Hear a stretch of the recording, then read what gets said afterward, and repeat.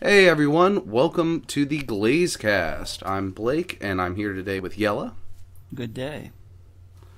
Bob, Hey, how's it going? Connor, Hello there. and our special guest Fab. Hey guys.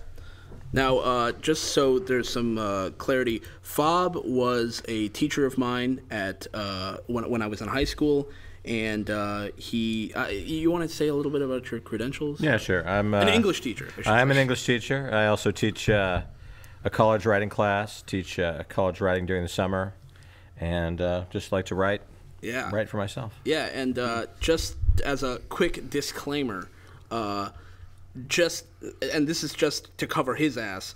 Uh, anything we say on the podcast, if uh, it seems even remotely controversial, if he e- if even if he doesn't say he disagrees, just assume he does.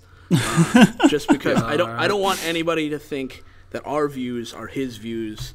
Uh, unless Keep in mind, his own we views. don't know Absolutely. sheesh. Yeah, we don't know sheesh about it. And, talk about j- and English also, is not even my native like language. Hey. Why am I here? We just don't want you to get in trouble. That's all. yeah. And just one more clarifying question. I know you said you like to write, Fab. Have you ever written Yeah. any fan fiction? I have not written fan fiction. No, I've man. I've read a lot of fan fiction, and I've I've read. Have uh, you read a lot of fan fiction? Well, for my students. I mean, Oh, really? yeah, yeah. Okay. Yeah. I, I, I, th- I thought Any that of might it be the good? case. Few, uh, very little. okay. All right. So, to get started, our topics today are plot twists and deception, I believe. Yes. So plot twists get used, and there are people who are better known for their use of plot twists. Plot twists get used in order to spice up a story or whatever. But what what makes a plot twist good, and what makes a, a plot twist bad? Just generally. If anybody has any thoughts on that, I'd like to hear hear that.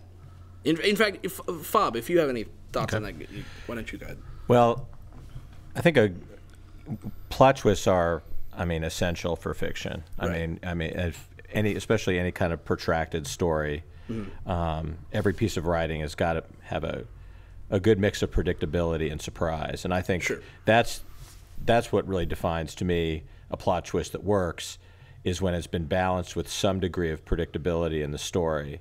Mm-hmm. Um, if it's something that is so surprising that it comes entirely out of left field, it just angers the and frustrates the the reader. That's true. If there's anything in the story that has not set the stage to be prepared for that kind of uh, twist. Now, if, if it comes out of nowhere, but yet it, ha- it it redeems itself as the story goes on, and you've earned the trust of the reader. I think you can get away with a, with a plot twist like that. But I, I- think when you haven't earned that trust, when uh, you know you just anger the reader. That- I that know. I sense, yeah. I personally love my stories to be rote and predictable. No, but um, I was actually thinking about like um, there sometimes stories will have a setup that says, "Oh, this is all natural, nothing weird is going on," and then at the end, it turns out all of this was supernatural of some you know some a ghost did it or The twist aliens ending. came out and did it, and and a lot of times I find those are the ones where it's when you set it up as not supernatural that then you've earned our trust as far as it being natural uh, a natural explanation and then when you pull out a supernatural explanation things get annoying Yeah. things get weird but i find Well, I it's mean, actually because- if because it it- goes the uh, oh, I go think I think that's mainly because suddenly the rules are different. Hmm. Mm-hmm. Yeah. Like you have set up rules that everything follows, you know, natural rules, things as they can occur in real life. And then all of a sudden you throw something supernatural in there, you're changing the rules right just for the sake exactly. of a Yeah. twist. So, yeah, and I mean, that's, we're that's about just annoying.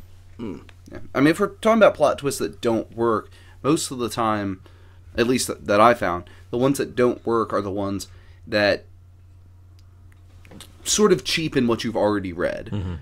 One like one of a good example is um, I forget exactly um, who wrote these, but there's a set of rules for writing detective fiction, mm-hmm. and one of them is you should never make the detective the culprit. Mm. Because it cheapens the integrity of the entire story. There's not really a situation where it doesn't because the whole point of a detective story is you follow the detective, you see them figure it out, put it all together, and if it turns out they were the culprit, A, it means that it pretty much has to be written in such a way that the protagonist lies to themselves. If you ever hear a thought in their head where they're like, "Hmm, I'm not sure what this clue means," Right. They're obviously lying.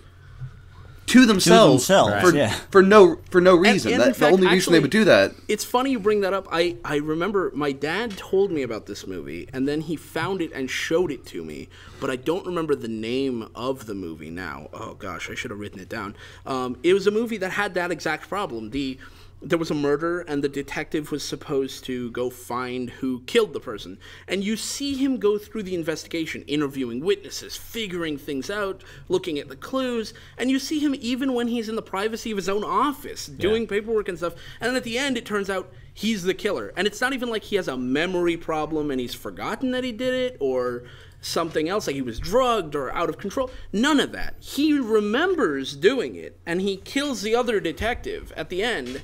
And you go, well, then what the hell was he doing in his office all this time? Just doodling? So- like, what do you mean? well, he was keeping up- Like all this time, you've betrayed, you've betrayed our trust as audience members by And it- well, pretending be- like he did. Like that doesn't even make sense. You've just lied to us.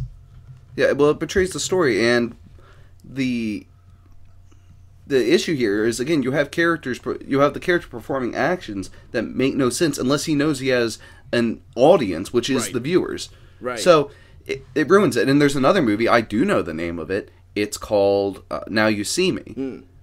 Now I don't know if I've made this opinion vocal on a, on a podcast. I thought that movie was horrendous. Um, like it, it looked like an amateur film with a big budget.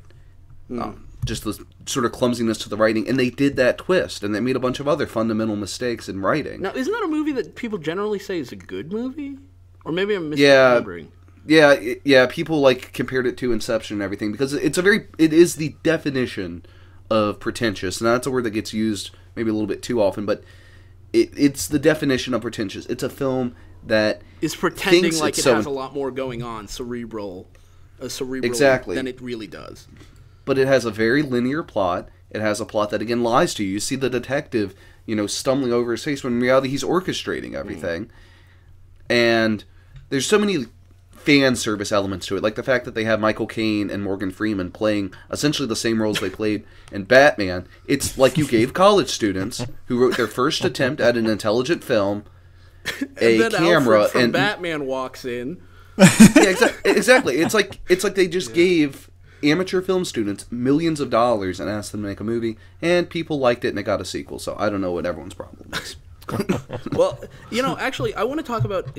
I was I was saying earlier when you when you change Jelle Jelle. I think put it very succinctly when he said it's when you change the rules of the Mm-hmm. Yeah. of the medium and you say it what goes from natural to supernatural. Actually, there's a there's a game where the opposite happens. It sets it up like it's supernatural, and then if you finish the game, you find out it wasn't supernatural at all.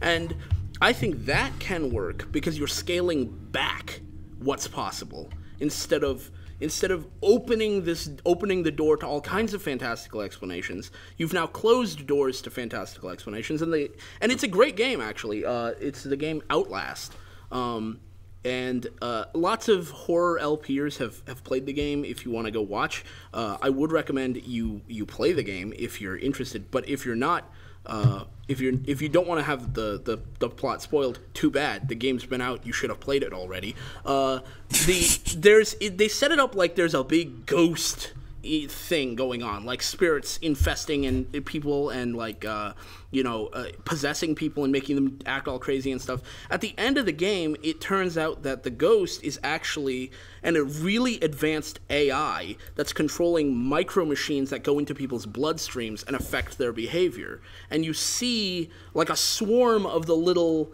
like uh, nanomachines flying as this quote unquote ghost but it's really like you know it's it's a purely natural explanation whether the natural explanation is like makes sense from a It, technical kind of perspective so basically arguable. basically it kind of goes from super. It basically goes kind of from supernatural to sci-fi instead. yeah exactly and it it actually you know some people said the twist doesn't really work because they do they weren't ready for it but uh, they I thought it worked because as you go further and further into it starts at an insane asylum, but as you go further and further deeper and deeper into the basement levels, you see more and more sci-fi elements in the architecture and the art, eh, you know, art direction of the the game shifts towards a sci-fi aesthetic. So if you were paying attention, you could have sort of already seen it coming. Right, Which and- kind of comes back to Fa- Fab's uh, earlier point where there needs to be a certain amount of predictability in there. Right. Yeah.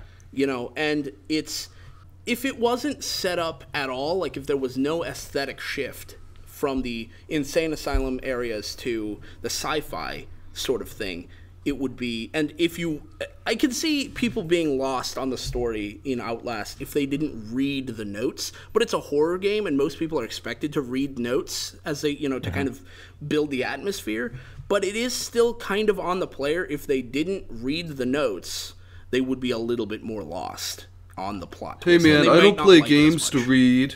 I don't play games to read, man. What Um, is this? wha- a and- book? And I one don't one see last, no pages. I have to go back to now you see me one last time because I said there were other fundamental problems. Mm. Just one more brief point because Bob, you know how you talked about going from supernatural to naturalistic. Yes. That movie starts ask starts with the question: Are are they performing real magic or just really sophisticated illusions? Okay.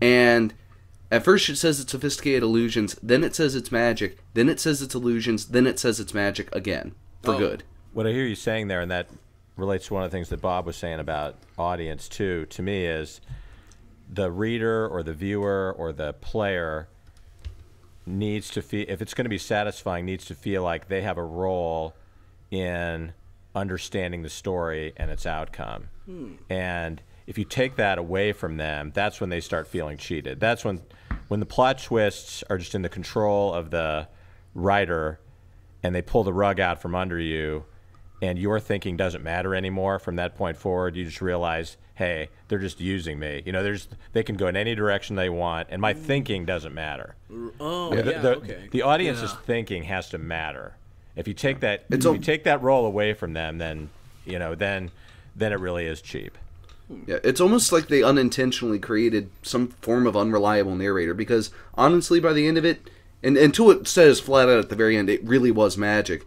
You have no idea. That it, the film constantly tells you and portrays conflicting things, and it's just it, it's it's such a smug movie. And has no reason to feel like do you feel like it was supposed to make you be like confused and like whoa what's going on? Or do you think it didn't know what it was doing? It Could be both. Well, what it was, it's clear the vibe they wanted to go for was, oh, this is so cerebral, I can't even follow it.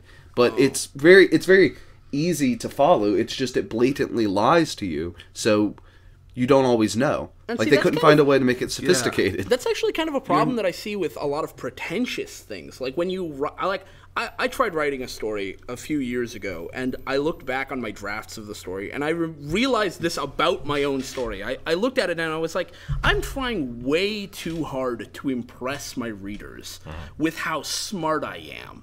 And instead, I should be trying to give them a story they can chew on and think about. And and I I trashed the story. No one will ever see that story. Uh, but but it's it was it was literally just I was trying to impress them so much with my setup and then my plot twist that it was I was taking away the the uh, the reader's role in that in thinking about it instead of just playing it out and trying to like Blake said, it was just you were supposed to feel, whoa, this is so highbrow that I can't follow it. When really, it should never be that should never be your goal. Your goal shouldn't be to make something you should make the audience appreciate the like at the end of the film, the audience should feel smart for understanding Right. it without you telling them directly, you're smart for understanding it, or I'm smart for thinking about this, and since Or- you get it, you're smart too. Like well that's, the difference between the audience feeling like letting them feel smart and just feeling cheated Right. is if you give them something to chew on like that's why i think there are plenty of stories where at the very end you're pulling out the rug from under them Mm-hmm. but if you set it up in such a way where they can go back in the story and go oh that's why they did this that's why this person set up it gives them something to think about after it's over then they, they're they're satisfied. Right. They feel cheated if it's just there's no explanation for this left turn at the end of the story other than to fool you. Right. And that's uh, if you uh, if you look up Blake mentioned unreliable narrators. If you just Google unreliable narrator, the first things that come up are The Usual Suspects and Fight Club. And Fight Club is, I think, pretty well known now. I, I mean, I think uh, The Usual Suspects is pretty well known. It's a pretty good movie. Both of them are good movies, but the you know the Usual Suspects maybe maybe to a younger audience wouldn't be as well known. Fight Club, I think pretty much everybody has seen at this point. It, it's also a good book. Don't it's also a great book, yeah. Right, fantastic. Um, Yeah. And Yeah, I love Ch- I love Chuck Palahniuk. I Palahniuk. did too. and the plot twist there works uh, because when you when you're it's when you go back through the movie knowing it you watch it a second time you see the things that they were that that they're hinting at. And there are parts where the movie shows you something that's just not true. It's just not happening. And the one that comes to mind immediately is him and Tyler Durden having Edward Norton and Tyler Durden having a fight in the um, you know outside the bar or whatever. They're punching each other or whatever. But the reason it's okay to do that early in the movie is because later in the movie and later in the book they uh, they explicitly show you what really happened which was him sitting there punching himself in the face Right. you know? And so it's not like this scene just didn't happen. It's not like the scene was a, an outright lie. It's just that we, we throughout the whole thing the narrator is telling us things and feeding us information and he's also not in the know uh, in that case. He doesn't know what's going on until the end when the twist is revealed to both us and him Right. but in the usual suspects, we have an un- unreliable narrator who, if you guys don't remember, that's uh, there's a heist that uh, Kevin Spacey is one of the guys who's participating in this heist, and they're trying to figure out who planned the heist. And the guy who planned the heist's name is Keyser Soze, but they don't know who he is or what he looks like or anything like that. And Kevin Spacey plays a character named Verbal Kint, who uh, he I just watched the movie. Um, he uh, he's speaking to detectives, and he's also speaking to us, the audience. But we're not there. He's just speaking to the detectives, and we're hearing his narration. He tells the story of how the heist went down and stuff, and then at the very end of the story, the detectives realize, oh my God, Verbal Kint was Keyser Soze the whole time, and by then Keyser Soze's gotten away, and Kevin Spacey has has escaped. Uh, you know, this character has escaped justice, and that's the plot twist at the very end of the film. And part of the reason that works, I think, is that we are, even though he is just lying to us, he's lying almost directly to us. It's not directly lying to the reader. He's not addressing us as observers. He's addressing the police, and Right. we can look at the police's situation and go, "Oh, that was so clever of him." But if he was, if we were the police in that situation, we wouldn't think it was clever. We'd just think he was an asshole. You know, we just An be like, that who was, got that was away, shit. That- damn that, it. really Yeah. made me mad. Yeah. You know, as you know, if you're a police trying to catch criminals, that that would make you mad. You'd be like, these guys are just messing with us. But see, what, what, what you're uncovering there is that uh, when it's done well, you're in the world of the characters, even at the end of the movie when you're thinking about it. Right. You know, you're like at the end of that movie when he starts walking normally, Right. And you're like, "Holy crap!" Yeah, you go, wait Yeah, a minute. He's not. a He doesn't have a limp He's- anymore. yeah. What does that mean? But- oh, when when you see that and and the movie is over, you're not thinking about the construct of the movie. Mm. You're not thinking about the writer of the movie deliberately orchestrating things. Right. You, you're just you're in that world because again, he fooled the police, and it's it's, shocking to it's everybody. acceptable, but, but it's acceptable that you could see how the police could be fooled like that. Right, right. Because he was so good. Right. So it's not like we got, you know, we got cheated or we've Right. been fooled because to go back to what was said, I can't remember who said it at the very beginning about the rules. Yeah. Like the rules didn't get broken. Right. Like he fooled the police. That can happen. We Right. understand that. But he did it. We appreciate how well that he did it. Right. And- He and did it still in- within the set rules of the universe. It's yes, just, right. re- Exactly. Exactly. Yeah. It's uh Yeah, I mean that's uh sorry, I, I lost my train of thought. I was gonna say something and I forgot. Well, I'll jump in. I, I just, no, no, no, no. I just saw. what you uh, what you were saying was yeah. what jogged my thought, Oh, and, then. I, and then I forgot what I was. Well, I would just jump in since you're in that in that movie world. Uh, what's is the movie I just saw last night? Arrival. Arrival. Uh, and I highly What- what's recommend Arrival? that What's Hi- that Arrival movie. It's uh, science fiction ish, like intelligent sci-fi. Okay. Um, I, I just I'm not going to say too much. It just came out. I'm I'm sure a lot of people have seen it, but I'm not going to say too much Okay. about it because it has. I was just- It does have a I'm big sorry. plot twist in it, and and it's it's acceptable for for all those reasons. I mean, it, it doesn't break the rules. I will say this about it: thank God it's a sci-fi movie where we don't see like the destruction of the Eiffel Tower. The, the the White House isn't on fire. disaster I movies mean, and- if I yeah. see one more time, you know, the, de- the demolition of the world's landmarks. I mean, I, I And you think know- Makes me very happy that my country doesn't have many of those. I think there, there should be a moratorium on the destruction of the world's I think- landmarks. I think that all started- until it actually happened.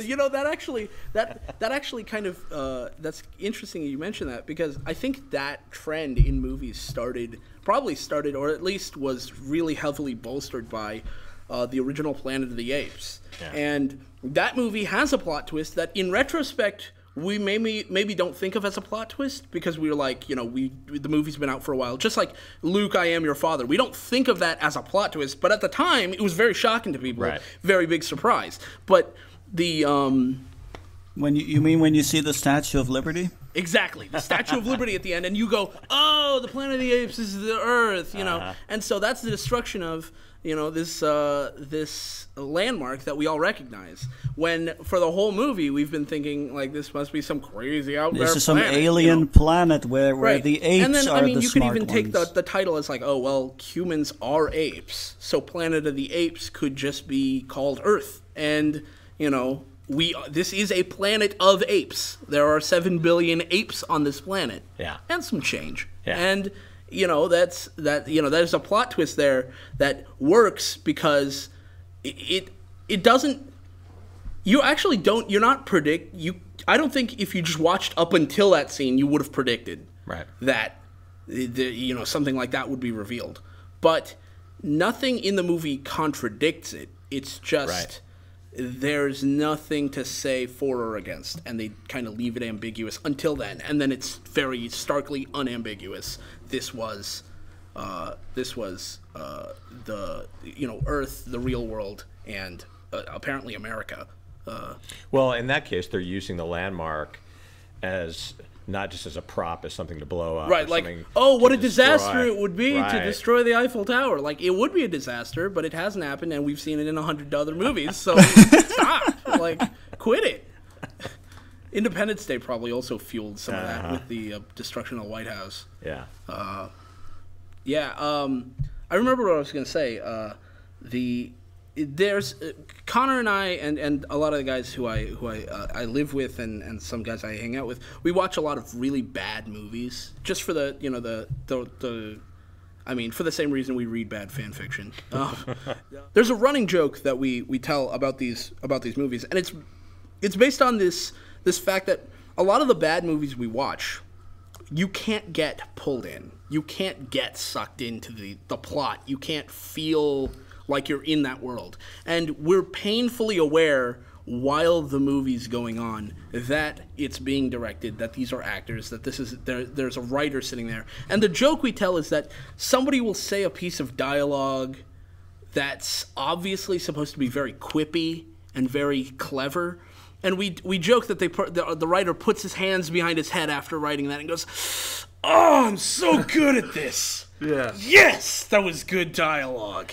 You know, and it's that same thing with a good with a bad writer writing a plot twist. If at the end you get the feeling, if you're not sucked in, if you're not feeling it, chances are the writer was feeling probably a little bit smug about how good his plot twist was because he thinks he's fooled everybody, and he probably hasn't a good writer will just keep moving. He knows where the story's going and just goes there and continues or ends the story. However, you know, he he's he doesn't get he doesn't let his emotions and his and and his his smugness get wrapped up in in the plot twist that he just wrote. You know. I don't know. Maybe I kind of went off on a tangent there. But Um, so I just want to bring up one example, and earlier on in this in this topic, we talked about, um, sorry, some of the what um, some of the things that can that can lead to a bad plot twist, like when we spend too much time in a character's head and so their actions don't make any sense, or when their actions don't make any sense because of how much effort they'd have to put in. And I read a story that had the worst plot twist of all time that broke those two rules um, really badly. And of course, this is another Nanoha fanfic, but I'm going to give just the high level things because you really don't need to know any of the, you know, main main details. Basically, there's a there, there's an OC in this story, the main character, who was slighted by the canon characters in the past, which the plot is also terrible, but I'm not going to get into that. So you basically see the whole story in the main character's head as crazy stuff starts happening. You know, like there's some evil force that's showing up, but nobody knows what it is. And then, of course, the main guy has crazy powers that are way better than the main character's powers. But again, don't need to get into that. And, you know, through the story, he kind of makes up his relationship with the regular characters, while also there are these crazy scenes and crazy stuff happens that keeps like taking out or or disa- or in you know not killing but injuring and taking them you know the the main characters out of the uh, action or whatever. And then finally it builds up and builds up and you learn that he was never on the good guy's side and he was getting his revenge the whole time. And he was setting up all of that stuff to you know setting up all that. Like in one scene i'm not joking you it makes it look like the main guy's running away from sni- from snipers that are trying to take him out, running through the whole city trying to get to the closest, you know, main character that he can a to try to get running. back up. Yeah. Rolling And- around at the speed and, and, sound. and again, you you don't know what's really going on at this point. So they get, you know, the main character runs them into a building trying to escape, but then like the floor drops out and they fall into this like basement death layer or something that's basically been set up to try to kill them. And obviously the characters fight through and survive and you still think you still think you don't know what's going on at this point. You still think he's on the good guy's side. But like once you realize he's a bad guy, you think, wait a second has he been planning this for years? You know, how how many resources were involved on this? Right. And again, you were in his head so much and you read so many thoughts that made it sound like he was coming around Right. that he was lying so much to the third person omniscient narrator. and that's the worst plot twist I've ever seen. Sounds like he's not omniscient then. yeah. No, if If I uh, it's if still, I didn't give the story name, it's called Striker's Pursuit of Perfection, Ugh. and I'm gonna call that out because again, bad. And you know what? Let's just call out the author. If you if you uh if you think if you think your story's better than Connor just made it sound, he'll see you in the octagon. Yeah, Yeah. yeah, I'll put you I'll put you up against all four corners. Yeah. Yeah, yeah, your your story All four versus corners his of the story. octagon. All right. That's about it. I got that out of my system. Nice. Do you guys want to pivot now?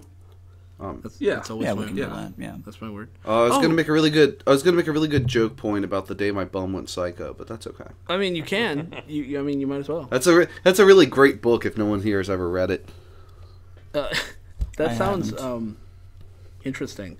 we can talk I- about it afterwards. also, I'm, I'm just noticing uh, we didn't mention Yoi Mune. Or I don't think we need to. Oh wow, the we first usually time do. we haven't. We've only had two Yeah. episodes, or we've only had one one podcast episode where we didn't mention Yoi Mune at some point. But he, I think it's I'm you okay know, with actually, increasing I do want, that I do want to number. mention Yoi Mune because there's not much Oh, to say, and I shit. just want to say it real quick. Uh, that usually we we almost never go through a podcast without mentioning Yoi Mune at least once. So this is the, the one time. Uh, right at the be- right at the beginning of the story, we get introduced to our main character, and then we get introduced to a character named Briggs Erd, who almost immediately turns out to be a bad guy, uh, and the plot twist is that he was a bad guy, even though he didn't actually do anything. And No, it's just it's just Ark was like, I don't like this. I don't guy. like this guy. Goes looks up the name Briggserd. Turns out Briggserd is some guy who died a long time ago. So he comes back and says, "That's not the real Briggserd." and then it turns out that his name was Kennard, but his last name was still Erd. I don't know. And Yeah. then ah, Yeah, when you now take I'm a it, bad when you take, and then when you steal a dead person's identity, you keep their last name, right? That's how it works. no works. matter what, like, th- you like stole it. yeah. Illegal, yeah. It's kind of like, you know, stealing somebody's identity is kind of like marriage. Yeah, exactly. Yeah. You're married to it. you drop the disguise, but you have to keep that last name. Now what if now what if the what if you hyphenated the name? Oh. Oh, Like you, Yeah. you went Smith Erd as his as his last name afterwards. But Okay. anyways, it was just he mishandled it because it happened all very very quickly, and it has all the same problems that we were we were describing before. It, it doesn't actually break the rules, uh, but he just he doesn't set us I mean, up it's with the- any predictions. the- predict. it's the we have no predictions about this character On the because other hand, we never it's- got a chance to learn anything about him before he revealed himself as a bad guy. Partially though, partially though, it, it's a bad plot twist for the for another reason in that it doesn't really feel like much of a twist. Right. Because immediately the main anything to us. character is like, I don't trust this guy, and hey, he is not trustworthy. and that's it. That's that's all, all there is to it. He meant it to be a shock to us, but instead it was just like an okay. Yeah. That's the only reaction we have. But yeah, And that's then all I'm before, gonna say. And then before we move on, I'd just like to reveal that I was Matt the whole time. No! Matt, I love you, man. I'm glad you're here. I'm Oh, glad oh, you're. yeah. I'm glad your impression. Skype is is no longer fucked. All right, so yeah, moving on to deception, deception.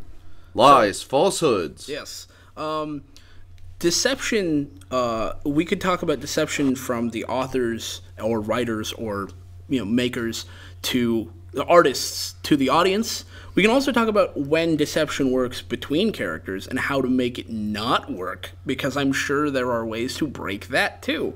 Um, but I do want to say, since we just finished plot twists, and I remembered this, my brother wanted me to mention um, there in Mission Impossible Five there's uh there's the main bad guy and this is the way he understood it i haven't seen the movie but this is what he got from it and so it's bad that any part of the audience understood it this way even if this isn't their intention but there's a main bad guy and then two kind of goon bad guys who don't really matter and so let's call them goon a and goon b we're seeing Goon A has gone and done something bad.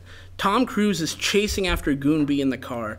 Goon B is running away and he's getting away. And as he gets away, he turns back to Tom Cruise and he like flips him off or something. And then he reveals, he pulls off a mask and reveals he was Goon A the whole time. and the audience is left wondering, why does that matter? We want both of them dead. Like the movie makers deceived us into thinking he was chasing Goon B, who is supposed to die, and instead Goon A is getting away. But it's like, but know that doesn't matter. I You know mean, that's actually that's um, stupid. That's not even a, that's- it's not even really a plot twist because it doesn't change the plot at all. They You still have to go after both goons. that's actually perfect because I wanted to talk about something that wasn't really a plot twist, and I was trying to think of the definition of it. But yeah, deception is the exact counterpart. I don't know what I was thinking because this is something that doesn't affect the plot, but it does. It is. It does sort of come out of left field. Um, remember the movie Saw? Mm-hmm. Very first one. At the end of the movie, spoilers. The what they think is a dead body in the room is actually a guy, and he like gets up and walks out. Right. But if I'm cor- like, correct me if I'm wrong. I haven't seen the movie in a while. It, it it really wouldn't affect his plan whether he was in there or not. That's true. That's true. He could have just been standing outside. Um, I mean, it's re- it's a really really cool way to end the movie when he just gets up and walks out. Right. I mean, it's neat. It seems cool at the time. I mean, you could say like, well, i I guess if you think about it, he couldn't have been like everything he says to the people would have had to be pre-recorded because And it was. because if it wasn't pre-recorded, then they wouldn't. He wouldn't be able to, like, he wouldn't be able to talk and like be on the ground pretending to be dead and talk and convincingly like you know whatever so it says something about like how clever he was he predicted what they would say and what they would try to do and things like that but it doesn't it's not a plot twist really it is just deception from the Yeah, the- movie the makers. And why does it work there? It works there because obviously we were lied to at the beginning of the movie, but so were the other characters. And it's not it's not um, I don't know, like why does it work there? I'm having a hard time kind of putting it to words. I mean, it's just it's it's just it, it- cool. I mean, there's there's I can't think of a more like in, composed or intelligent way to say it other than it's just cool. You see what you believe to be a body there the whole time, and it's just the thrill of being tricked. I think you watch Yeah. the movie, you see a body. And you're like, oh, it's a dead body. And then at the end of the movie, it gets up, and it's cool. I mean, the only functional thing it did for him was if you know the police are looking for him, the last place they check is the dead body in the room. I mean, I don't know. I don't really think it served much purpose to the plot. It was just cool. It might have been. I mean, if it's Jigsaw, he might have just wanted to be there and, and see the Right? the he wanted other to two hear their reactions and see or maybe Yeah. he just needed a nap. Revel in them. He could have just been tired. Yeah, he just he had to He take just a nap took wherever. a nap. He oh, was. He- he was, he- oh, that was but- today. Oh, he gee. was Yeah. dude. He was dead tired. Yeah, Yeah, he, he- he he finished setting everything up, like chained the people up on opposite ends of the room, went to leave, got really tired, passed out. right. He was Yeah. just like, "Oh man, Yeah. that's sleeping pills are key again." yeah. Now some of that there's a sleeping plot gas, twist for know, you. Got to do it. Yeah, got into the air. He accidentally um, but he accidentally poisoned all Decep- three coffees instead of just the two. yeah. Um, but I should say, deception doesn't have to be a plot point.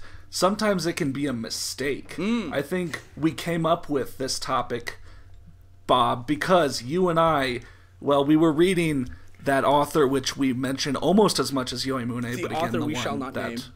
Yeah, we shall not name. And we were really confused because some characters got mentioned with names that made no sense Right. and we messaged him about it and he said oh they were references to this other thing Right, right. He was saying But- he was he was trying to he didn't want to use the person's name too much, which can be a problem when you're writing. You say Bruce did this, Bruce did that, Bruce, Bruce, Bruce, Bruce, Bruce. People start to feel weird about the fact that you're referring to him by his name. So then you start to say things like the man or the detective or this thing or that, you know, like descriptors. And at one point he tried to use an analogy to do it or like a maybe a metaphor i don't know. He used he tried to replace their name with another name to kind of to say and he wanted to say it was like the character leo from something else. But instead of just saying he was like the guy like leo he called the he called this character leo 2.0 and Wow. we didn't know of who the hell he was talking about because he was just like and in walked leo 2.0 and i was like who? And- who's leo and- 2.0 and it turns out Yeah, that's, we- he was referring to some guy we'd already had referred to, but he he lied to us, but not on purpose. He just yeah didn't think it was gonna be confusing when it was absolutely confusing. he was yeah he was deceiving all of his readers without realizing he was doing so He had a Wait, por- well- point where, like, for most of the early chapters, he was he was in third person, and then he switched to first person from his main character's perspective, and told us things about this main character's past from the main character's perspective that seemed to contradict what happened previously. And then Yeah. we said, "Hold on, what does that mean? Why does he? what do you mean this happened? When I don't understand the timeline now." And he just told us, "Oh no, in later chapters you're gonna find out that he was lying to you." And I was like, "What? No, don't do that. Bad, wrong. I wanted to smack his nose yeah with a oh newspaper. yeah yeah yeah Like yeah like if we didn't reach out to him we would, we would never, never, know we would find out this maybe chapter 13 down the line and then he'd be like i lied and we'd be like why it's not like we're gonna affect what you do we're readers Yeah, that like like that that is probably like the dumbest thing I think then is to just have your character directly lie to this outside observer who can only observe. right uh, nobody actually narrates anything in real life i mean I don't narrate And if I'm you doing. do, you might wanna talk to somebody about say that. things when I want to speak. I don't narrate in my head. So narration is just a mythical thing that writers have come up with in order to tell a story from someone's Narrate. perspective, which is fine. But when you pretend like it is someone doing something, interacting with the readers, then you start making it it starts to fall apart the uh, you know the story itself starts to fall apart when you turn us into interactive players in the story and then lie to us about what we know and change like especially when it contradicts previous stuff that just looks like a mistake Right. you know it just looks like you f- you you, you messed up you flipped up whew close call Yeah. i nearly, nearly did, did it. it. Yeah, you nearly you nearly said beep. i did nearly say beep yeah. Like as far as deception goes, um, the I'm thinking about the difference, you know, that line between deception and plot twist, where deception could be something that takes place during the entire story, Right. Like it, it's in the fabric of the entire story, and I, I think it really, the format of it really makes a difference because I think of all those Twilight Zone episodes, Mm. and why so many of them work so well is partly because they're kind of short. Yeah. I mean, if you had to, if you realized after two and a half hours that everything That you saw real, wasn't- yeah. yeah, I, I don't know. I, I'm not That'd sure be- that that's not going to work as well as 25 minutes. It's part of why it's part of why it's okay if you had a 30 minute to 20 to 30 minute clip or game or whatever where at the end of it it turns out it was a dream Right. versus you spend hours and hours and hours with it. Even if you only like in the case of a game there's there's some theorizing Versus that playing Super Mario Brothers 2 and at the end finding out it was all a all dream. and you go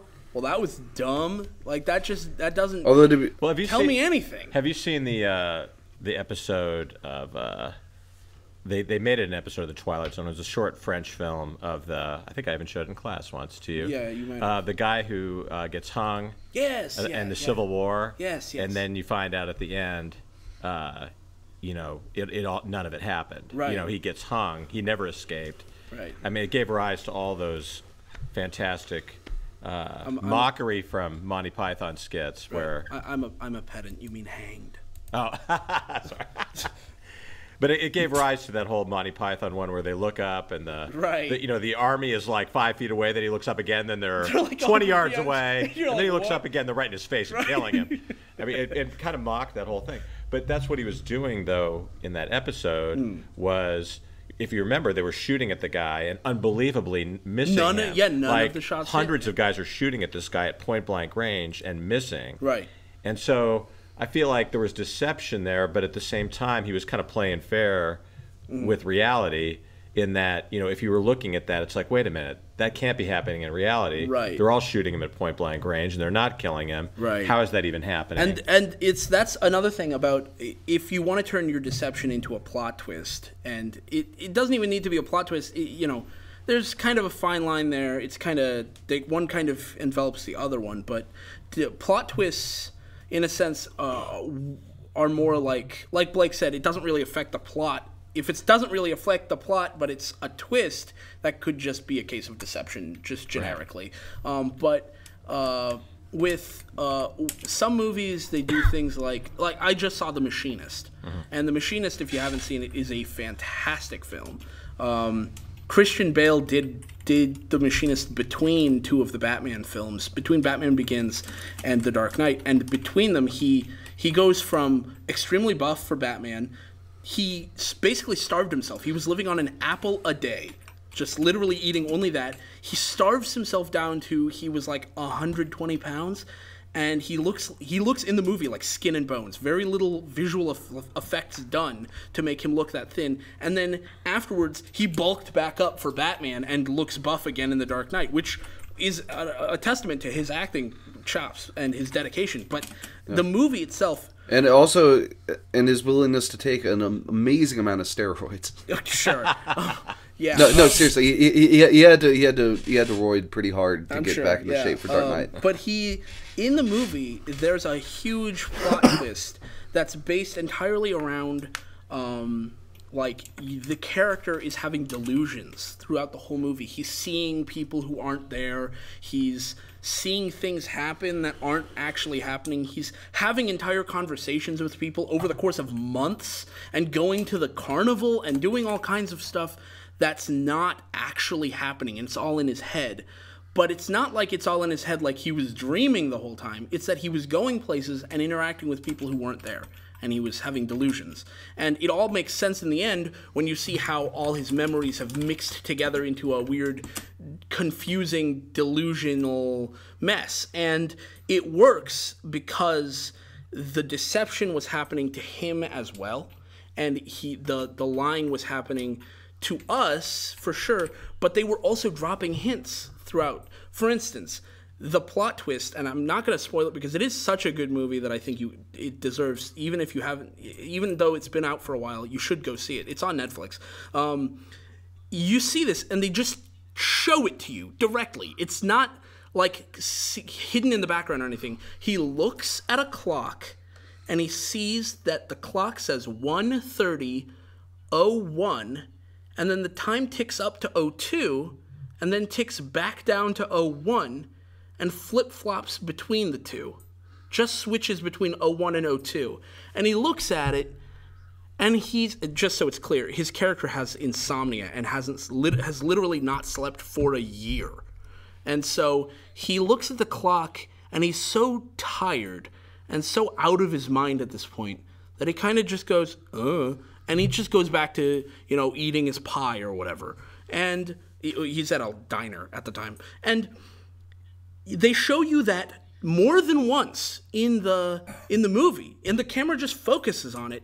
But it's not it's not a case of them trying to lie to you. It's a case of them showing you that he has conflicting information. And you have conflicting information and you know time is moving forward obviously but something is going on there. And they're hinting at the fact that a deception is occurring.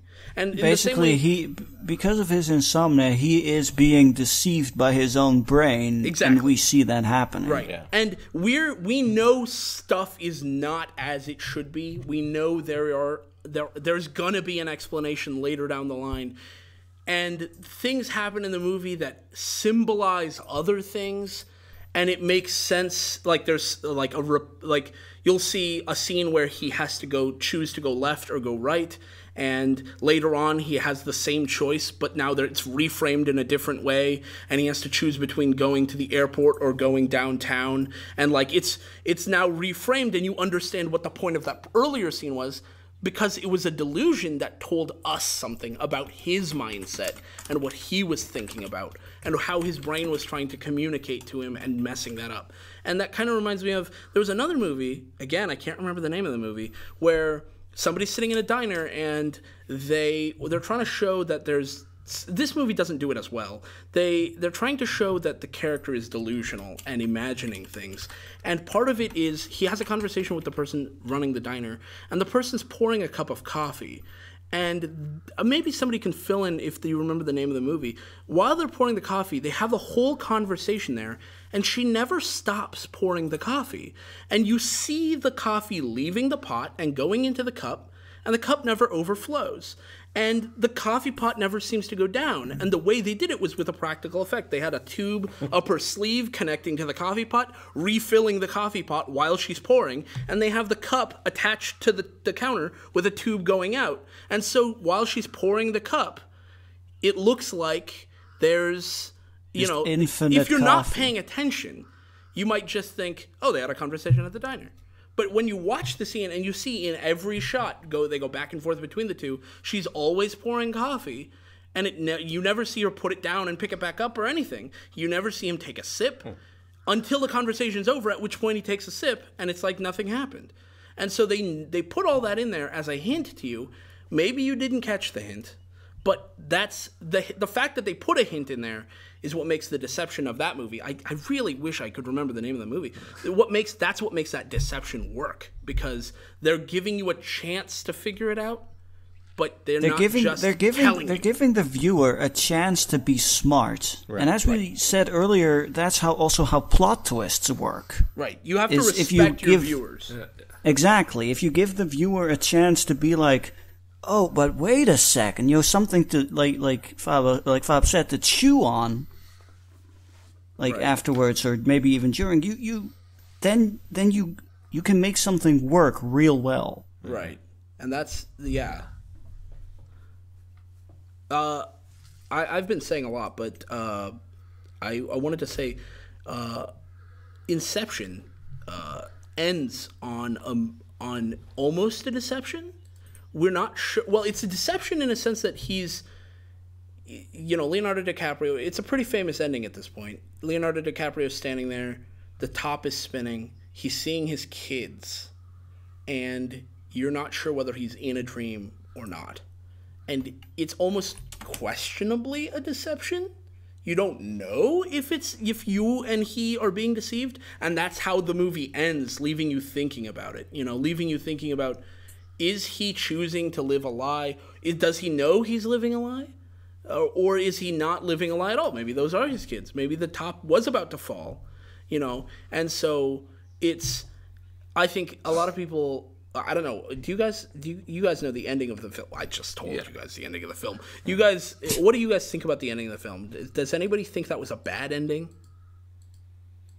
No, I mean, you showed me the film, so You're right, but I mean, like, uh, uh, Blake. Oh, no. you, I know you're not a huge Nolan fan. I don't know. I, I only watched the movie once, and I wasn't watching too intently, so I, I, I, I can't really speak to it. Okay, that's fair. That's fair. Um, It's been a while since I've seen it. So I'm, Right. tr- I, I remember the top at the end, and I remember, I do remember not being entirely satisfied with the ending Hmm. because I didn't feel like when I was listening to the arguments that people were having on both sides Right. about what was really happening, that the movie didn't give you enough to make a information to to believe it, that your side w- was right was feasible. Right. Like there are good arguments for both sides. Right. There are bad arguments for both sides, but there are good arguments for both sides, and there's no conclusive. Right. Well, that, and that made it kind of frustrating to me that that the argument about the ending seemed kind of fruitless to me because he gave ammunition for both sides. Right. And it's not like Nolan later went on and said, side. "I think it was this Right, way." right. You know. Instead, And even if, but even if, if he would have done that, I would have felt worse. yeah, I mean, If he would have said, "This is how I intended it to be," because well, you gave me that. That's, That's kind of true. That cheating. just- that just because you gave me information on both sides, and then you're telling me the way I really should look at it. That's Right. that's not yeah, okay. I mean, wouldn't with the with the plot of the movie, always having that. I mean, like you saw what was going on with DiCaprio's person and his team, but the you know the people they were trying to get info out of didn't know they were you know further and further in dreams. So I wouldn't That's true. wouldn't it be? I, I, it feels like the best type of ending to offer up that question and not give a satisfactory answer. You know, based on the plot guess, of the movie. I mean, kind of the whole point of the movie is uh, little by little they're suggesting uh, more and more that you don't, even you sitting there in the theater watching the film, don't know whether you're in a dream. Because unless you came here on purpose, knowing you were going into a dream, Yeah. you wouldn't know. You wouldn't have a way of, you, you don't, you haven't set up beforehand a way of checking. Yeah. And so, because you don't have a set up way of checking, it's like you don't we us on this level don't have a way of knowing whether we are being deceived or not. So which it's probably best to offer up an Leave it ending like that, completely ambiguous. Uh-huh.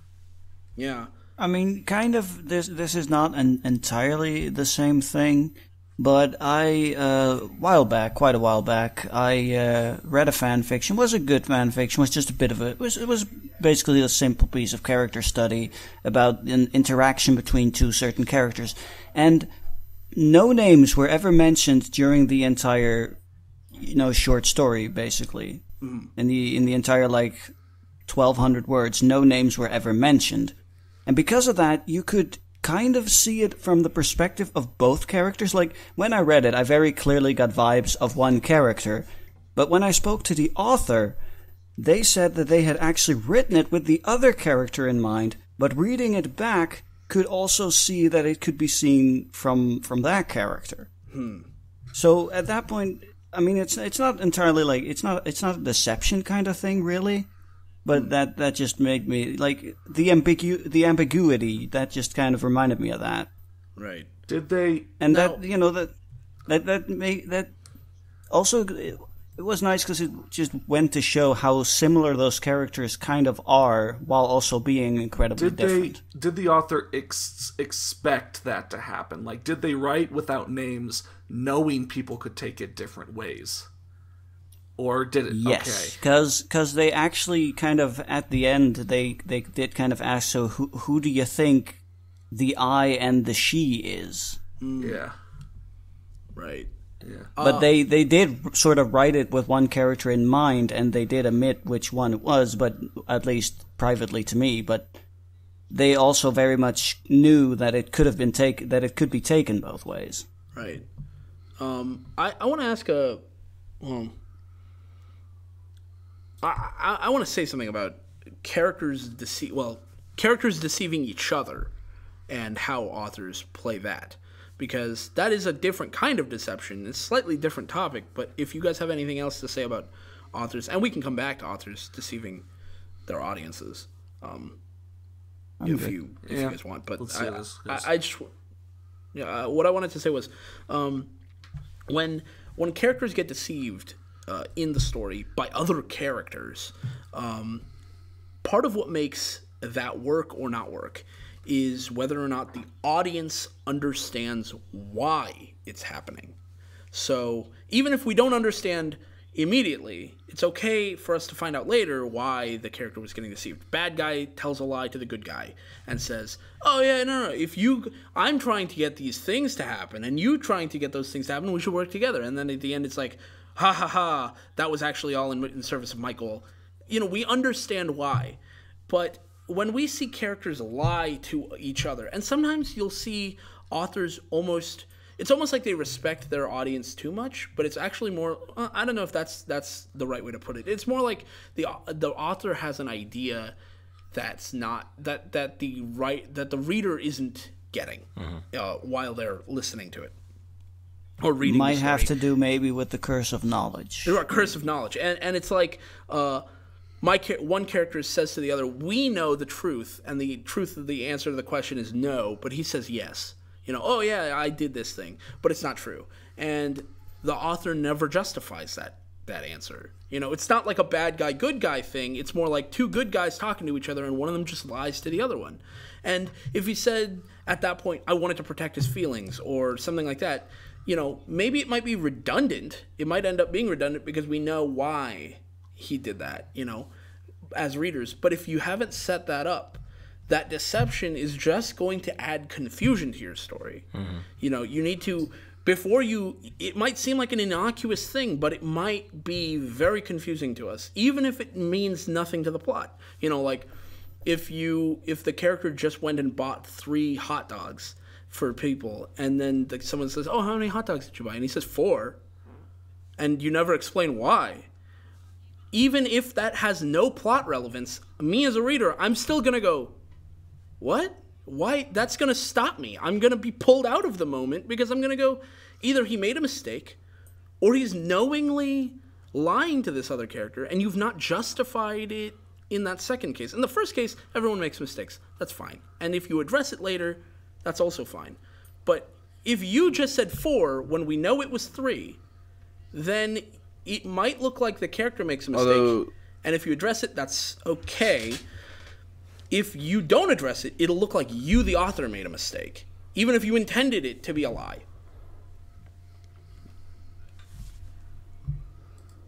Well, that brings up Right. Yeah. If that's not, i- That brings if up the point, um, build the that you also shouldn't somehow, include if that extraneous detail like hot not dogs. coming back at some point, that's Chekhov's gun right there.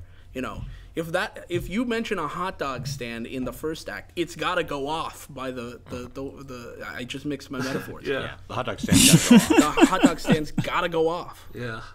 I mean, I went off at a hot dog stand once. Well, Not the uh, guy running the stand. I, I re- yelled at the stand. I think yeah. lies is something that always has to be addressed just because, you know, truth and knowing someone's telling the truth or not telling the truth is such a big part of a character or a situation or really kind of what it means that it always needs to be addressed. Like a character cannot just casually lie about stuff unless they're like, you know, the uh, like I don't know, Jim Carrey and Liar Liar or something. except reverse. No, that's Oh, yeah. actually he can't. Oh, lie. then I guess Liar Liar 2 where they flip it up, you know. Unless he can only. unless lie. a character's main trait is that they just, you know, kleptomaniacally like lie all the time. That's Right. something Well, you can't Pathological really I don't do. yeah. Yeah, Pat, yeah. Yeah. Yeah, Yeah, but but I mean- Yeah, in- in pathological fiction- liar. if it's Well, I relevant mean, to the plot, well, I mean, I don't know. People lie all the plot, time. Every single one of us. obviously you need to address it. But if it's not relevant to the plot, like you said, you either shouldn't bring it up because it's not relevant, or if you're doing it in order to world, if you're doing it in order to world build, then you need to at least. In Oh, I agree. Like I said, extraneous detail. Make it clear what had happened and that you didn't make a mistake. Yeah. Well, I mean, right. It's not. It's not. It's not a. well, I know. I agree. I'm, I'm just saying, like, it's just not something that um, you need to like a ridiculous character trait. and you need to be People- absolutely because sure people tell you make it lies. clear, which is part of the reason why it's often suggested that if you're submitting something for other people's approval, um, you know, like on a website, you want people to like your story, um, you should have a friend or yourself after you've given yourself some time to sit away from the story, come back, reread it, you know. And that's just part of the editing process. If you don't edit your stories, you should delete them. But then again, I you mean, and, uh, and other, and if you don't, and if you don't have a friend or you don't trust yourself to do that, there's plenty of people out there who will gladly do such a thing for pretty much anyone. Right. I mean, especially like on fanfiction.net, you can find random people on the internet to do it for you. Which- Will they be the yeah. best at it? Maybe not, but it's still better than nothing. What about authors deceiving themselves? Uh, when What? the when when authors and this is this kind of goes to just um, uh, authors and making sure you you don't you're not a bad author. Um, authors not taking criticism because they just assume that the person is uh, you know oh, wrong. I guess so. I mean, in in a sense, it's like you like if I write a story and I submit it and somebody reviews it and says I found this very confusing, the, the at that point the, what the author needs to do is not not take that as an insult, not take that as an attack, but instead understand that it's really just them saying I didn't understand, you weren't clear enough. That doesn't mean your story's bad. Although if I tell you your story's bad, that might might also be something that me as a reviewer might say. Uh, you know, the uh, you know, I could be saying any number of things, and what you should try to do at that point is not lie to yourself and say that your story's fine, because unless you're only writing for yourself, which is, I guess, acceptable, but like don't put it out sure. there if you're writing it for just yourself. I mean, if you're writing for other people to enjoy, you should uh, you should uh, listen to other people's uh, critiques and criticisms and understand that they're not trying to hurt you; they're just trying to make you a better writer. And you don't you shouldn't lie to yourself and just assume that they're that they're wrong. You know, you, your story's not going to be perfect instantly. And uh, another thing that I hate is when authors lie to the readers and say, "Oh, I'll update in five minutes," and then they never update again. Yeah. Yeah. One of the thing that I thought of when you're thinking about that is, uh, is a million little pieces. Yes. Yeah. I mean, oh man, I didn't even just think a about that. huge lie. You Yeah. know, where he tells his life story and turns out to be a bunch of bullshit. well, he wrote it initially as fiction, and then when he realized, Oh, is that really what happened? Yeah, he couldn't sell it. it. It's based on a true story, but lots of exaggeration. When no one was buying the manuscript, he decided to change his tactic and say that it was entirely true, and then they picked it up. So that that's an interesting twist on Yeah. how you know why is it that it became a runaway success because it was so unbelievable people were captivated by, By th- this that it could possibly quote-unquote be true true story. Yeah, Right. that's interesting. And then in the end, it wasn't true. It Yeah. wasn't. Yeah, mm. he even fooled oprah yeah. Wow, she is the Oh. arbiter for i mean what's. I mean, i know I used to trust Oprah, but now I only mostly trust Oprah. Yeah, she, Only she's really good at figuring these things out. You know, That's like she's- people like Deepak Yeah, Chopra, That's why she's such good friends with Deepak Chopra. but I, I think one of the because he things tells the truth. that whole thing reveals though is that a- as hyperbolic as his story was we really, at the heart of it, we have no reason to mistrust the author. Right. You know, if somebody says, "This is my life story," and they put it out there, Our I mean, inclination is our to say, yeah, inclination sure. clearly is to say, "Okay, that's probably true." right. If I, I mean, it just it, it just is. I mean, it just it violates again that like basic rule of I'm a writer. I'm telling you this is true. You know, if if we went into every nonfiction, every true story, and just immediately went into it with this is probably not true, you're gonna have to prove to me that it's true. Right. I mean that's that is that is skepticism. And for for for fiction stories it's not a problem. Right. Because we don't at the end of the story think, "Wait a minute, maybe Harry Potter does exist." Like we don't we don't think that way for a fiction story, especially when it's put in the fiction section. When it's put in the nonfiction section, they have a new problem. And that's like I mean, think about like uh, biographies. When we write biographies today, we try our best to val- you know verify all these facts and say, "Oh, George Washington did, did this, George Washington did that." Even though it's a great story about the cherry tree, he didn't actually chop down a cherry tree. That's not true. But but back in the day, that's not how people wrote down. Um, that's not how people wrote down biographies. That's not how people wrote down any text in, in a lot of, and that's how a lot of uh, that's how a lot of religious traditions start up as well. They they take uh, uh, their religious fi- figure like uh, Hura Mazda or, or whoever you want, and and they'll historicize them by placing them in the historical world that they're familiar with place them with characters or people who really existed. So this guy supposedly existed. He interacted with alexander the great and he interacted with this guy and that guy and this guy. And all of that is it's hard for us as historians looking back to to understand which parts are true and which parts aren't because they didn't consider that an important part of they wanted to tell a message rather than telling a story Right. and in the case of this guy who did a million little pieces, I don't remember what the what the name of the or the, the author James Frey. James Frey. Uh, in James Frey's case, he had a message he wanted to tell, and in order to sell, instead of in order, he wasn't trying to. Well, he was trying to deceive us, but he wasn't trying to deceive us because he was had malicious intent. He was just trying to make money. He was he was selling his book, and he couldn't sell it as a fiction story, and so he had to deceive people in order to get it to sell. Yeah. I don't know. Afterwards, did did anything ever happen with him, like about that? Oh yeah, yeah. He I mean, he obviously Oprah had to made him come back on the show and apologize. Right, but I mean, like he never had to give back any money or anything because people bought the book. You know, I don't money. know. I mean, I know there was He probably lost a publishing deal. litigation about it. Okay. I mean, maybe even with his publisher. Right, and he may have he may have had to he may have lost some. Uh, he obviously lost a lot of credibility. Um, Oh, d- I would I would hope so. yeah, okay. Like, you know, James Frey lied about his entire life story, but I still believe him. Yeah. I stand with you, James Frey. Hashtag James Frey. Yeah, I'm with him. Wow. James Frey 2020. Sure, he lied about his entire life story, but I think he'd make a pretty good friend. James Frey 2020. Yeah. I, I- I take him I take him as an, as an expert on anything. yeah. Yeah. But yeah, He's an authority on on, on the truth, surely. yeah, for sure. I mean, at least he's an authority on, on selling books. Yeah. I mean. Oh, he knows how to do that. yeah, Yeah. I mean, now that now that we've, uh, Well, it, oh, th- thing is, it only works once though. Yeah, right. I mean, now that It's kind of uh, like that coupon that I use at Arby's. If you go to you go to each Arby's and if you cry, they'll give you fettuccine alfredo. But it only works once at each Arby's you go to. But y- you know what? I, I could And see the- the. sometimes they don't have it. I could see the logic, you know, now that we've elected a businessman to get us the best deals, then we can elect a writer to make the best speeches. I don't know.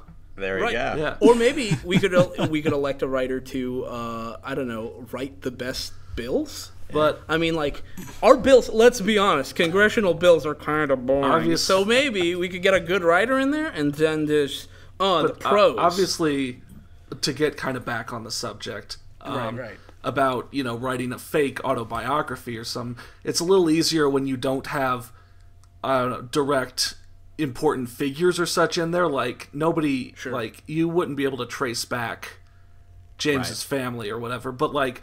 He could have gotten away I- with yeah, it. I- Probably I- people I have think gotten about away with like things that. like that. reminds me of I think in American Sniper, Chris Kyle, mm. I think that's his name, talking Yes, about a run in yes, with yes. Jesse Ventura, and Jesse Ventura basically, as soon as the book came out, said, "Nope, that is not what happened." Nope, never happened. And there hasn't been a huge controversy about that. I don't think so because of the other stuff going on with American Sniper. But again, it's you, you know there we don't you know what did happen then is you know Right. is Chris Kyle telling the truth? Is Jesse Ventura telling the truth? Well, Right. then what should It's we think about that?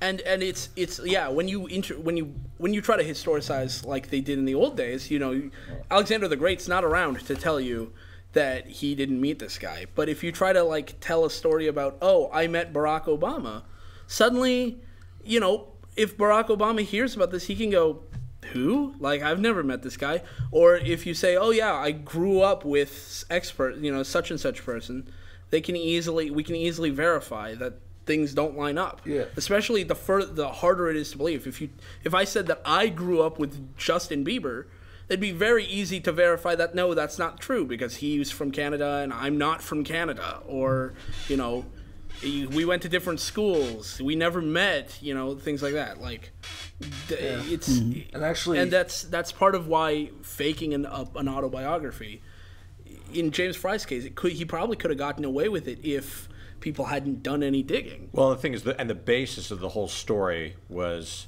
I mean, what made the story work as nonfiction, if it Right, if it if it was, worked, yeah. was how he had overcome such incredible odds. Right. So it wasn't even just about like a little bit of a run-in with somebody that he might have faked. Right. That just turns the whole. I mean, it just it discredited the entire the entire of the book. You know, there's a there's a guy, uh, Dave Pelzer, Uh-huh. who wrote a book that I remember. I read this around the same time James Frey's um, book was becoming big, and uh, Dave Pelzer wrote a book called A Boy Named Dave.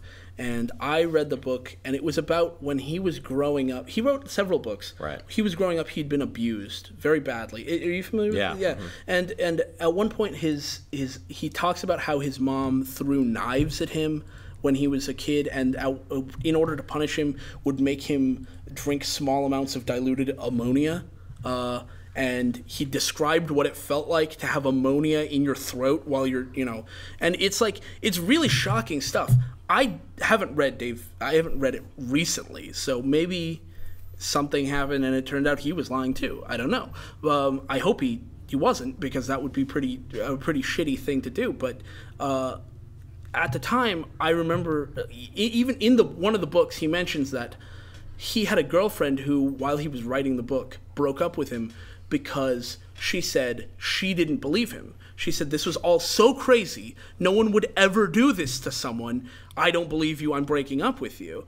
And it like you know it hurt his feelings to be invalidated like that while he's writing this book and i get that you know if this really happened to him mm-hmm. that's terrible and his book is a compelling read because he talks about how he overcame those obstacles and it's inspirational and he goes on speaking tours and stuff like that and so it's kind of the same situation with Jim Frey. If Dave Pelzer was lying about this, nothing in his book says he met Bill Clinton. He never did any of those things there's no way for us to really verify mm-hmm. how truthful his account is. So you might get inspired by it, and you might even you might even believe him. But it's important to realize that there is an element of we don't know, and in bi- in the world of biographies, with his if you're talking about a historian. Maybe you've got a historical biography. That's going to be maybe something that they they might try to not uh, they might they might try not to deceive you uh, more because they have a credibility to maintain, especially if they work for a university or something. They don't want to lose their job for drumming up a bunch of historical nonsense.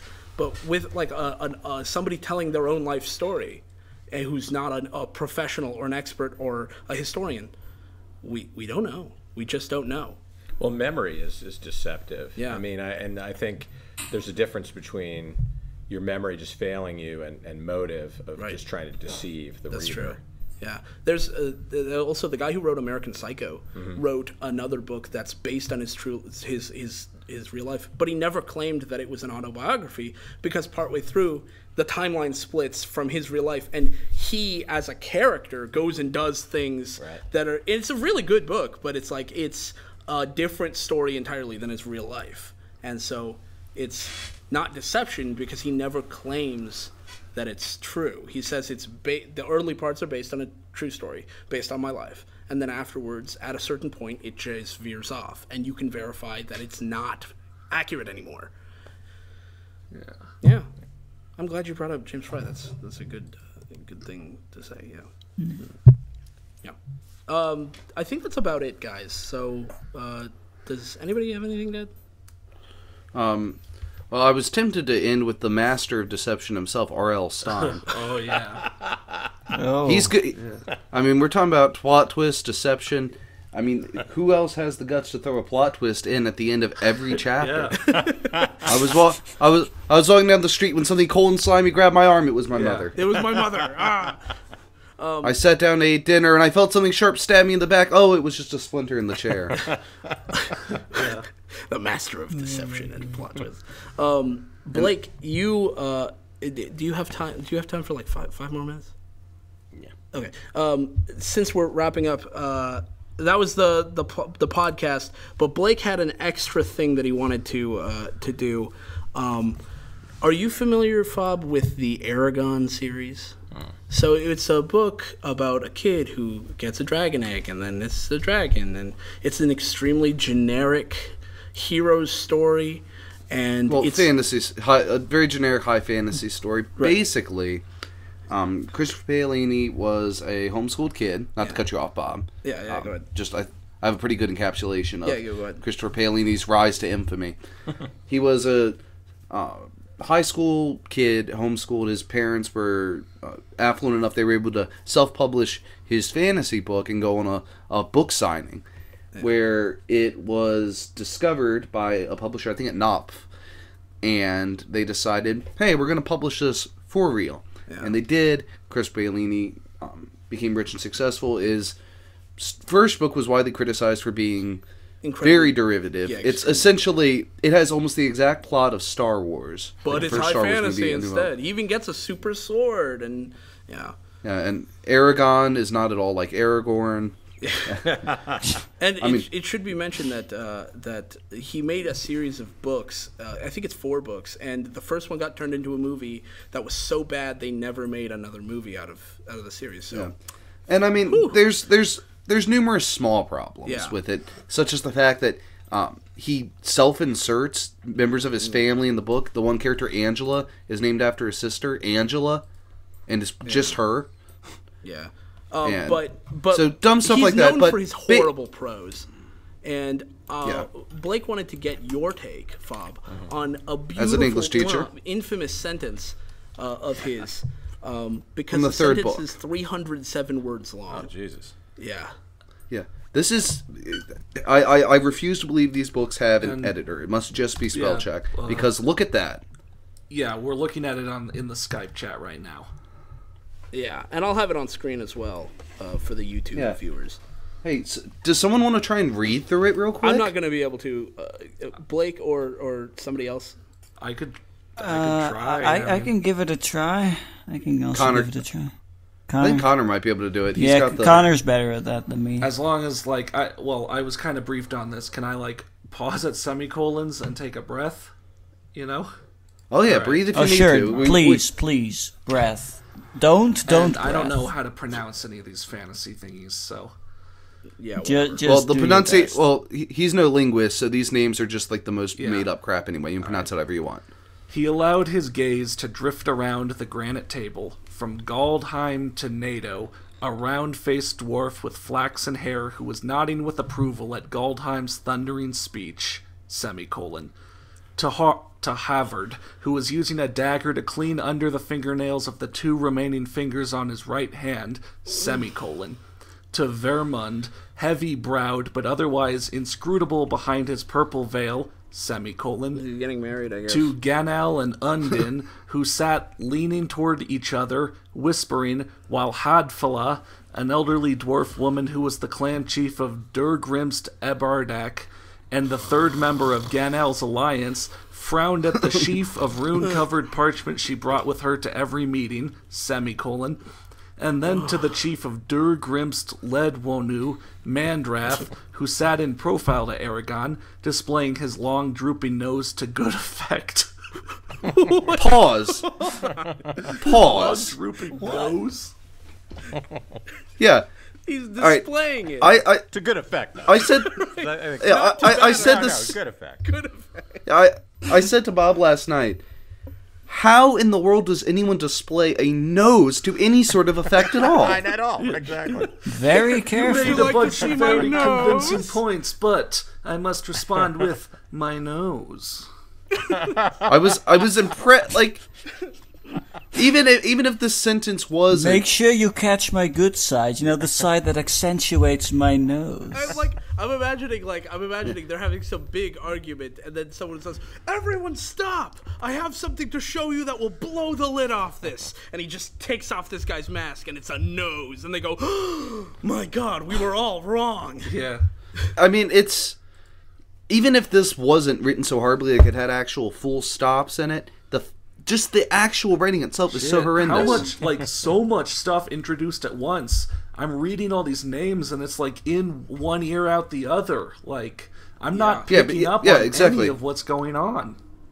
No, this is And the, I the have- backstory that you And have. we're to have not a even halfway for the sentence person so that you're far. seeing in the middle of the sentence. And this is the first time you're introduced to these Yeah. people, I believe. so Oh, have that's fun. All right, so continuing. Oh, I. I love it when I love it when somebody just throws a million characters plus their descriptions plus their Yeah. titles at me. I can surely remember all Right, that. right, exactly. Yeah. now, who was the guy who had only two fingers? Uh, Uh, I, all I know don't is that he was cleaning under his nails sure with a knife. I, all I'll remember is that nose. But okay. to Thordris Grimstborth of Durgrimst Nagra, of whom he could see little but her wavy auburn hair, which fell past her shoulders and lay coiled on the floor in a braid twice as long as she was tall. He's gotta be fucking with me. No way. What does that? Her braid was twice as long as she was tall. Yeah. I'm like five. Can you imagine how long her hair is when it's not braided? Yes, Yeah, the hair unbraided. is- This is, are we entangled now? D- is she one of those elves that live to be 2,000? And her hair never stopped. Oh no, growing. no, I think she's a dwarf. These are all Is dwarves. she one of Oh. those dwarves that lives to be So I guess it's not as long. Yeah. It's still really hmm? long. semicolon to the back of Orik's head as he slouched to one side in his chair semicolon which by the way What a weird table that you can see the back of someone while you're sitting around a table. shouldn't anything or was after he facing away from the table? shouldn't all of these be grammatically correct full sentences if you're going to use semicolons Uh, what? What? Yes. Oh, it's a blatant disregard Okay. of the semicolon. Yeah. uh to Freowin, Grimsborth of Durgrimst Gedthrall, an immensely He's just making stuff up. corpulent dwarf who kept his eyes fixed upon the block of wood he was busy carving into the likeness of a hunched raven. It sounds okay. It sounds like this meeting's not even focused on any one thing. Some people are reading papers and like someone's doing Carving a crossword, ravens, yeah. carving ravens. Yeah. and meanwhile, there's just one guy at the table going, uh, uh, "Excuse me, e- e- excuse, me, I'd like to say Guys, something. guys, please, this is important. Pe- people, Guys, we're to please, prep help. for a war. Oh, Carving ravens. Will everyone please pay attention? I have my graphs here. yeah, He's like trying to flip through his PowerPoint nervously. yeah." Um, semicolon. And then to Hradamar, Grimstborth of Durgrimst Urzhad, who, in contrast with Freyo, He's adding more and more words. in contrast with Freowin, as you all remember, Freowin was fit and Oh, yeah, compact with corded forearms, and who wore a mail hauberk and helm to every gathering. Semicolon. Also, also, not Freyoin, not at all like Éowyn. The only time he comes up with names that sound half decent, because some of these are just unpronounceable, like pseudo Germanic Yeah, yeah. gibberish. Right. Um, the only time he can come up with one half decent is when he rips off directly Yeah. rips off J.R.R. Tolkien. And finally to Lorun, she of the nut. I think that's an I. Is it? Yorin. Yeah. Eeyore. Yeah, yeah, it's an Eorin. And finally to Yorun, She of the nut brown skin married marred, sorry, marred only by a thin crescent-shaped scar high upon her left cheekbone. She of the satin bright hair bound underneath a silver helm wrought in the shape of a snarling wolf's head. She of the vermilion dress and the necklace of flashing emeralds set in squares of gold carved with lines of arcane runes.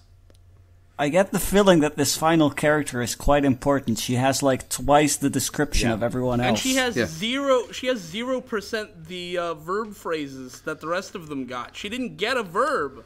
Yeah, she was just there. She she- of this, also of this, perhaps also of this. I think I like. I think my favorite character has got to be Freowin, who was fit, compact, and corded like an HDMI No, no, that that's that's that. No, no, that's that's uh, that's Hradamar because who because he is that in contrast with Riowin. Oh, right, All right, so Riowin is not all that. right.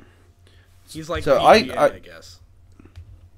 Yeah, and when I mm. showed this, I showed this to Bob last night, and I said, and this is something that should that all of us probably know, but I just want to sort of state it. The whole point of having sentences is to give the da- the the brain time to process what's being said. It simulates the natural breaks in speech. Yeah. Right there, that there was a break there. Natural. That's what it's meant to simulate because we don't talk all in one big incomprehensible rush. We have breaks, and that's what commas and periods, semicolons, all of the the punctuation we use. That's what it's for. To you know, so that way, especially if you're reading it, so that way you have the intended effect. This is horrendous. It's all in one r- rush. You can't possibly Oh, Yeah, remember the all of only it. things we get, or the only details that we remember, are the ones that made us laugh. yeah. With the big drooping nose, By and that all that- entire re- By putting all that description in one sentence, it just nullifies the effect of any of it. Like, eh, Yeah. you know, what kind of table is it? Who cares? What kind of hair? I mean, if you're putting it all in one sentence, it just makes it has no The color of the hair, the missing fingers, the long drooping nose, even like. How about the scar on her left cheekbone? I mean, Oh, it's not even on her cheek; it's on all her we're cheekbone. all we're picking up is Ow! all we're picking up is later. Physical stuff, but he's including so many details like where the characters are from and and all of this, even their names. they that are we're all not the, even they are remembering. like the the important people of all the like you have like- all these I, I guess factions or clans or whatever, and it's like, it's like what are all of those that even? he's already thinking of the movie and just expecting you to visualize this. The camera turns to this. Epic music starts playing. Anyways, that was that was a little But- bonus clip for you guys. We're not gonna r- rip on this sentence any longer. I'll just, Oh well, uh, yeah. I was, I was just gonna say um, the the the last thing I wanted to ask about it was you you are an English teacher, Fab. Yeah. If a student wrote this in a story and submitted it to you, what would you say? Well, I, I think I'd say some of those same things that we were talking about. What is the purpose of this sentence? Uh, what is the purpose of it? Are you are you trying to draw attention to the woman at the end? If you are, why didn't. why are you calling attention to eight other people before we even get to this person? right. I mean, I, I'd start there before I even went into. The, I wouldn't even. I would not even get to all the grammatical faults. You of just- it. you It's just write that, That's like class. ten things down the line. Right. It's just that your purpose as a writer, it, you know, you've Is got to know, convey information. is to know what you're doing, right? Yeah. All right. Um, so, Well, thanks for listening. Thanks for subjecting me to that sentence. I, I appreciate it. oh no problem. and thanks so much for coming on and stuff. Thanks, guys. Absolutely. Yeah. And uh see you guys next time. Yeah, I have nothing else. To say. See you guys next time. That's it. Bye, Later. guys. Bye.